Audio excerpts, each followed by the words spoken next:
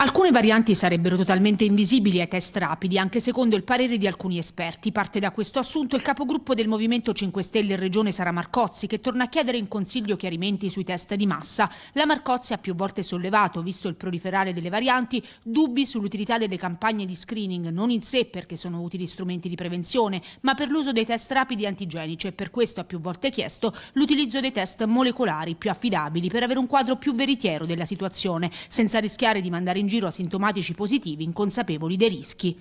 Noi siamo favorevoli agli screening di massa, ma abbiamo chiesto che venissero utilizzati i tamponi molecolari e non i test rapidi, perché questi ultimi non sarebbero completamente attendibili. Molti virologi, tra cui il professor Crisanti, ripetono ormai quotidianamente come molte varianti sfuggano ai test rapidi e abbiano come conseguenza quella di far circolare in maniera disinvolta persone asintomatiche positive che sono convinte di essere negative. Del resto, un esempio eclatante lo abbiamo avuto di recente a Guardia Grele, città in cui su 4.300 tamponati nel pieno del cluster a variante inglese soltanto due persone sono risultate positive.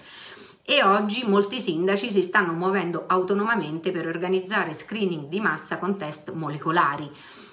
Um, quello che chiediamo al Presidente Marsilio e all'assessore Verì è di procedere una, ad una campagna di screening di massa con test molecolari e dunque con test più sicuri. Ove ciò non fosse possibile, quantomeno di accompagnare la campagna di screening fatta con i test rapidi con una campagna altrettanto massiccia di comunicazione che inviti i cittadini abruzzesi a mantenere comportamenti prudenti, dunque distanziamento e mascherina, anche in caso di un eventuale risultato negativo del test rapido.